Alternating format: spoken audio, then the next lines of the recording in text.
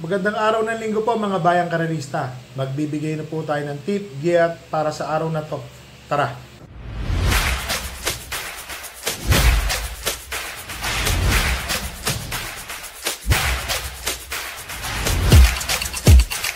So mga bayang karerista, meron pong hinandang 13 races po para sa araw na to. Ang start time po ng karera sa ganap na alauna ng hapon o ng tanghali. So dito na po gagawin ang 2023 Pilracom PCSO Presidential Gold Cup at 10th Pasay The Travel City Racing Festival po 2023. So simulan na po tayo nagbigay ng tip, giya at impormasyon para sa araw na to. Dito po sa race number 1, meron pong 13 entries. So, ang first choice ko po dito, yung entry number 13, Tenacity. Nung nakaraan po, lakas po ng sinigunduhan ni Tenacity. Ilan po ang masasabi ko. Mainam po yung tinakbo niya, pagaling. So, malakas po yung nasigunduhan niya. Ang second choice ko po yung entry number 12 na si Sunnyside, mga bayang karerista. So, nakalaban po niya si Ivan. Kung mapapansin niyo naman po, magandang laban sana. Pero kayo na pong bahala. Pero para sa akin, second choice ko po, si Sunnyside. Tingin ko, kung sakaling gugustuhin, mananalo. Ang third choice ko po yung entry number 2 na si iShot na isang deremating kabayo. Kaya ako po nagustuhan si iShot. Maganda po yung numero. Nasa balya na po siya. So nung nakaraan po, nakikita ko, may ikot-ikot pa. Tingin ko po ngayon, basta magkabulan lang po sila sa unahan, baka dumating po si iShot. So dito po sa race number 1, first choice po entry number 13, Tenacity. Second choice po entry number 12, Sunnyside. Third choice po entry number 2, iShot. So dito na tayo sa race number 2 mga bayang karerista, 14 runners po ito. So ito po ulit ang sasabihin ko sa inyo. Entry number 6, Walking on Sunshine and entry number 3, California Chrome. Your choice is good as mine. Parehas po mainam tong dalawang kabayo na to. Hindi ko na po masabi kasi pwede ko pong sabihin na one for the day ko po si California King kasi isa lang po sila. Yun po. So kung ako po ang tatanungin nyo, kailangan natin mamili ng first choice. Ang first choice ko po, entry number 6, Walking on Sunshine. Gumaling na po. Napakagaling po ng panalo na nakaraan. Nilaro po niya si Iris. Banderan tapos po si Walking on Sunshine. Gagawin ko lang po second choice yung entry number 3 na si California King, mga bayang karerista. Although ang tinalo po nito ay sila Mandatum, kaya alam mo, para sa akin po kasi, isal po kasi. Kaya na pong bala. Second choice ko po si California King. So dito po sa race number 2, first choice po, entry number 6, Walking on Sunshine. Second choice po, entry number 3, California King. Ito po yung pinakihintay ko. Sa, sa pinakihintay ko pong karera. Race number 3, 6 entries po. Entry number 2, first choice, Senshai Spirit. Wow! Yung tinakbo po niya nung nakaraan ng 1.23 sa 1,400 meters. Tingin ko pag ito po nauna, hindi na po nila kayang habulin tong kabayo na to. Pag pinauna po nila to. Dahil matapang pala to pag nauna, pag nasusunod na, alam niyo na, hindi buo ang loob. So, siya po ang aking first choice. Ang second choice ko po, yung magaling na kabayo na entry number 3, Platinum Prolic. Ah, I mean, Treasure Hunting po. Sorry, sorry. Entry number 3, Treasure Hunting, siya po ang aking second choice. Alam naman natin si Treasure Hunting nung nakaraan, nanalo po. Ito po, si John Alvin na rin po papatnubay ngayon. Tingin ko po, ito po yung magbibigay o ito pa ho ang outstanding dito, baka yamado po ito dito sa karera na to, si Treasure Hunting. Sa po ang aking second choice. So, dito po sa race number 3, first choice po, entry number 2, Senshai Spirit. Second choice po, entry number 3, Treasure Hunting. Dito na tayo sa race number 4, mga bayang karerista, 1,400 meter race. First choice po, entry number 4, Iris. Oho, napakagaling na po na nakalaban ni Iris. Nung nakaraan, si Walking on Sunshine. Para sa akin po, lamang po si Iris dito sa race number 4. Kung pagbabasihan po natin, yun po ang masasabi ko. Para sa akin, kanya-kanya po kasi tayo tingin. Tingin po si Iris po, kaya po manalo na ulit. Ang second choice ko po dito is si Shining Thunder. May nakita po ako magaling na tinakbo ni Shining Thunder kahit natalo po siya na nakaraan na iwan. Malakas po ang nireremate ni Shining Thunder. Siya, kaya siya po ang aking second choice. Ang third choice ko po dito yung entry number 6 na si Skylaber, mga bayang karalista. Ito po kasing si Skylaber, ang baba na po nito sa laban. Kaya ako po sinabing mababa na eh, nakakalaban pa ho nito yung grupo condition race ni Hills Magic. Tinatalo po niya sa timbangan si Hills Magic. So yun lang po. Dito po sa race number 4, first choice po entry number 4 Iris. Second choice po entry number 3 Shining Thunder. Third choice po entry number 6 Sky Lover. Dito na tayo sa race number 5 mga bayang karerista. 2,000 meter race. Ito na po ang pinakahintay. Presidential Gold Cup 2023. 2022 pong nakalagay sa kopya. Pero 2023 Presidential Gold Cup po. Ito na po. Dito na po gaganapin. So, para sa akin po, iba po kasi yung kampihan yun, dalawang tare, dalawang kabayo. Siya, siya po ang paggagawin kong pampremera. Napakagaling po ng tinakbo ni Stolen Ola nung nakaraan. So, ito po, papatnubayan pa po ni JB Hernandez, ni Uno. Baka ma-irate po ito na maganda. Patay po sila rito. Tapos meron pa hong kakopol entry na 3A na si Big Lagoon. Alam naman natin kung gaano kagaling si Big Lagoon. Isang matulin, isang nakatutok na tersero, kwarto pwesto, eh sabihin na natin kahit nandiyan dyan po yung ibang matulin dito, eh para sa akin, first choice po, entry number 3. Ang second choice ko po, yung nanalong si Boss Emong nung nakaraan. Ngayon po, papatnubayan ni Jeffrey Tagulaw Sarate. Tingin ko po, siya po yung aking second choice. Which is, si, actually, sila-sila naman po naglalaban-laban. Iba-iba nga lang po ang nananalo. Ngayon, nilagay ko na pong third choice dito is si Don Julio. Parati po kasing nasisigundo si Don Julio. Baka ito na po, Boss John. Manalo na tayo, Boss John. Para sa akin po, malaki na rin po ang panalo ni Don Julio dito. Basta magkaroon na po ng pressure sa unahan to kasi si Don Julio po, may second win pa kami napapansin sa kanya, bumabalik eh. Kahit nalakasan mo siya, biglang dumadating pa si Don Julio, na sana oh, kayang-kaya niya na ho itong laban na to. So dito po sa race number 5, first choice po, couple entry 3 and 3A, Stolen Ola and Big Lagoon. Second choice po, entry number 9, Boss Emong. Third choice po, entry number 7 na si Don Julio. So dito na tayo sa race number 6, mga bayang karerista. Ito na po, 8 runners po ito. Ito po yung mga bagong kabayo po. Para sa akin po, first choice po, every sweat counts. Inam na inam po ako dito sa kabayo na to. Pinilit pa ho siyang habulin ng habulin ni... Ito po, nandito si Art Seb. Pero talagang napakainam po na itong every sweat counts. Ang tinapos po niya, unang takbo, 1.25 medyo, 1.26 po. Meron pa naman yung kabayo. Ang second choice ko po dito ay entry number 4 na si Bill Jordan, mga bayang aralista. Ito naman po kasi si Bill Jordan, marunong po itong sumunod. Para sa akin po, siya po ang pwedeng tumalo. Kahit sabihin pa po natin may ibang matulin, si Cats in the Cradle, iba po kasi yung area ni Every Sweat Count. Sa pa, pa sariling pananaw ko po yan. Ha. So, dito po sa race number 6, first choice po entry number 6, Every Sweat Counts. Second choice po entry number 4, Bill Jordan. Dito na po tayo sa race number 7, mga bayang karerista. 13 entries po ito. Dalawa po ang couple entry dito.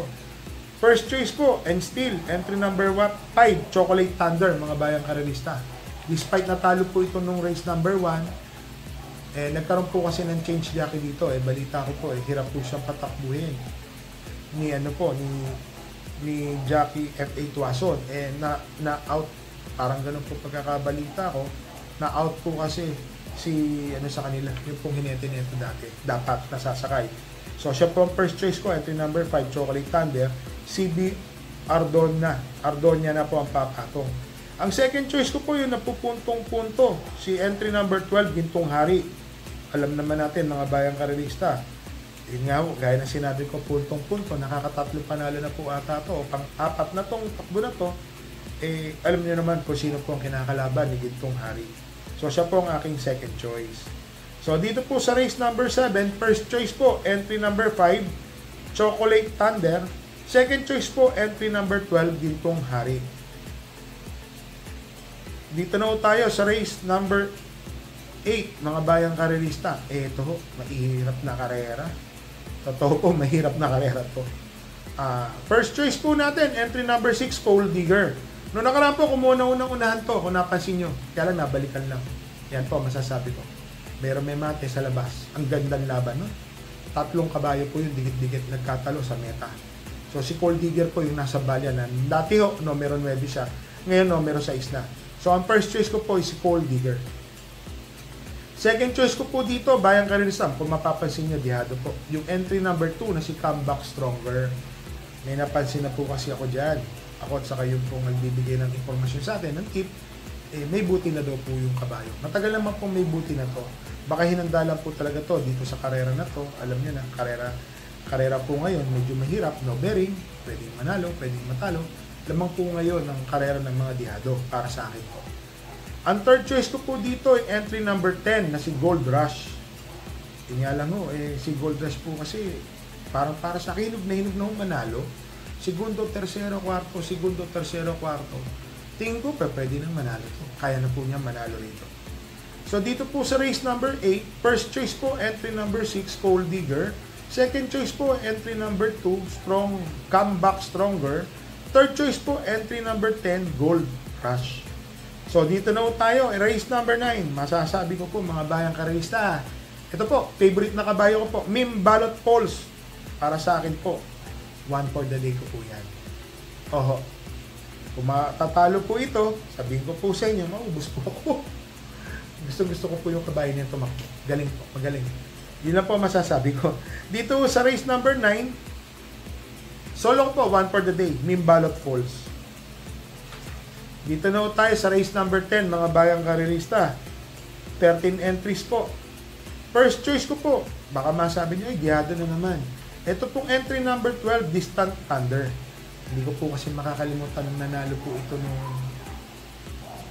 Philippine Race Horse Philippine Race Horse Trainers Association po ata o yung nauna pa doon o araw na Maynila napakainan po puno 26 po ang tinapos nito maraming marami So yun lang po masasabi ko, Distant Thunder po is first choice ko. Ang second choice ko po dito yung entry number 3 na si May 10, mga bayang karerista. Ito po kasi si May 10, nung nakaraan baka nagpagpag lang ng kalawang, ngayon po si Jeff Sarati na po ang papatong, tingin ko malaki rin yung panalo. Ang third choice ko po dito yung entry number 7, Mandatum. Ito po kasi si Mandatum, eh, nung nakaraan po yung pagkakatalo nito, para hindi po convincing na natalo po siya noon tingin ko po marami pa ho yung kabayo na dumarating po sa meta. Eh napagtanong-tanong po natin kung ano po ang nangyari. Doon nga po kung ano po yung nasa isip nyo ganun na rin po nasa isip ko. Siya po ang aking third choice. So para sa akin balikatan po itong tatlong kabayo na to. Ang first choice ko po dito entry number 12 Distant Thunder. Second choice po entry number 3 May 10 third choice po entry number 7 Mandato. So dito na ho tayo sa race number 11 mga bayang karelista 1,800 meter race. Ang first choice ko po dito, entry number 8, Flattering You, mga bayang karerista. Ito po kasing kabay na to, nalalaban lang po ito sa mixing distansya. So sa tingin ko po sa 1,800 meters, eh, malaki na po ang panalo niya. Ang second choice ko po dito, yung couple entry ng Modern Kong and Robin Hood. Alam naman natin si Modern Kong, pwede po itong sumunod agad. Si Robin Hood naman po, ganun din. Malamang pang-apat, pang-lima, nagmamadali pag kasungaw ng ng ano po, last 200 meters or 300 meters, saka na po magagalawan yan mga bayan karanista. Siya po ang aking second choice. Yung couple entering 4 and 4A, Modern Kong Robin Hood. Ang third choice ko po, yung matuling kabayo, gusto mucho. Natignan ko po sa history netong gusto mucho. Meron pala siyang takbo na hindi talaga na bandera. Yung unang panalo po niya sa 1,000 meters, parang panglima panglima, pag sungo ng rekta siya na po ang una. Maraming marami pang nanalo. Eh nung nakaraan, no, marami pa rin po itong nanalo. Kaya lang, despite na 1,000 meters, yun yan, 1,800, binibigyan ko pa rin siya ng panalo rito. Baka mamaya ho, eh, siya lang ho ang mauna, nakapirmiso ito. Iba po kasi, para sa akin ha, pag mas mahaba ang distansya, pag pinauna ka, nakapirmis ka, pag naglalapitan sila, saka ka palang gagalaw, eh, nag-spend na kayo na marami. Etong isang nasa, kahit makes, pang mixing karera, malaki po ang panalo, tingin ko po. Kasi nakapigil siya na nakapigil. Lahat ng kwartos nakapigil. Eh. Pagdating niyo lang, last, mga dalawang katawan, tatlong katawan, saka lang siya gagalaw, eh magmamadali kayong lahat. Para sa akin po, malaki po ang panalo nito. Gusto mucho. Third choice ko po yan. So ulitin ko lang po, dito sa race number 11, first choice po, entry number 8, Flattering You. Second choice po, 4 and 4A, Modern Kong and Robin Hood. Third choice po, entry number 9, Gusto Mucho. So dito na tayo sa race number 12, mga bayang karerista ito po, marami po nagagalit sa pagkakatalo po ni Daily Byrne. Alam niyo po mga bayang karista, balita po natin, eh, hindi po magaling manakbo sa balya si Daily Burn. Kaya ang utos po, gawin ng lahat bumuka o bumuha sa labas. Eh kaya lang, hindi, ngayon, nasa numero uno na naman. Tapos katabi pa niya ho yung matuling kabayo na si Miss Vicky. So, paano pa? Hindi ko sinasabing walang panalo. Pero tingin ko may panalo naman kasi kabayo po yan eh. Alam niyo naman po tayo mga bayang karerista. Ito po, magbibigay po tayo dito ng tip. First choice ko po yung number 7. 7, 7A. King Hans and Uncle Vines. Napakagaling po ng tinakbo ni Uncle Vines nung huli. Segundo lang po itong tumapos pero magaling na magaling po yung pinakita niya ni Uncle Vines. Siya po ang first choice ko. King Hans and Uncle Vines. Second choice ko po yung 4 and 4A, Ninong and Always Impressive. Ito po kasing si Always Impressive, tumakbo po ito. Ganda po ng tinapos. Opo, uno benching ko sarado. Maraming maraming maraming. Kagaya nga lang na sinabi ko sa inyo, mga bata ko sa laban yung ibang matutulin dito. May si Vicky, Sandigan, tapos si Sister Moon, AP Factor, sama na natin si Always Impressive. Baka ho, nag-iisip po ako eh, baka ho si Ninong manalo. Alam niyo naman, magpapasko, kailangan natin ng Ninong. Sila po ang aking second choice. 4 and 4A, Ninong, Always Impressive. Third choice ko na lang po si Daily Burn. Eh, malay po natin, magkaroon po ng milagro. Manalo. Hindi po milagrong milagro na ano, pero may panalo po ito, imported po ito. Yun nga lang po, hindi daw ho magaling tumakbo sa balya, itong kabayo na to. So dito po sa race number 12, first choice po entry number 7, King Hans and 7A Uncle Vines. Second choice po entry number 4, Ninong and 4A Always Impressive. Third choice po entry number 1, Daily Bird. Dito na tayo sa last race, race number 13, mga bayang karerista. First choice ko po dito, entry number 8, Jubilum. Tataka po kayo kung bakit. Noong nakaraan siya na rin po ang humabol ng humabol dun po sa tumalo po sa kanya. So para sa akin po, tas siya pa rin yung bumabalik. So maganda po yung pinakita ni Jubilum. Pwede po siyang sumunod na segundo, tercero pwesto, bigla pong tchatchak. Ngayon po, ang second choice ko po dito yung entry number 4 na si Hakim. Nakapang-anim na panalo na po siya nung nakaraan. Ngayon po is galing for 7th or 5th, uh, 6th or 7th win po siya ngayon. Kaya ako po siya nilagay mga bayang karerista, eh, mapa, baka magkaroon po ng pahirapan si Hakim and Eutychus. Opo. Third choice ko po si Eutychus, yung entry number 3, mga bayang karerista. Entry number 12, si Eutychus. Nabanggit ko po sa inyo entry number 3 is Laputing Bato. Pang long shot ko po yan. Sama po natin sa paratingan, pang-apat ko po yan, si Isla Puting Bato. Para sa akin po kasi, malay nyo, nag-aabang lang sa kanto yan, manalo. Dihadong-dihado po yan, malamang. So, dito po sa race number 13, first choice po, entry number 8, Jubilum. Second choice po, entry number 4, Hakim. Third choice po, entry number 12, Eutychus. At pandihado ko po yung entry number 3, na si Isla Puting Bato. So, shoutout lang po tayo mga bayang karerista kay Flightline, kay Roel Guevara, kay Weloy Guevara, kay Michael Javier, kay Amada Rodriguez, kay John Eric Talampas, at kay Catalina Balinang. So mga bayang karerista, remind ko lang po kayo ha, may kahirapan po ang karera ngayon. Itong araw po ng linggo, so wag po tayong tataya ng malaking malaking malaki. So, ay patukan to! Wala po tayong sinasabing gano'n. So, try po natin na magtipid. Malapit na ang Pasko. It's just around the corner na lang po. Ilang tulog na lang, Pasko na. So, para meron po tayong budget para sa pamilya, unahin po ang pamilya bago po ang lahat, mga bayang ararista, and then, ulitin ko lang po, bet small, win big. Yun po dapat talaga ang maging katwiran natin. So, bayang karerista, happy racing po, stay safe.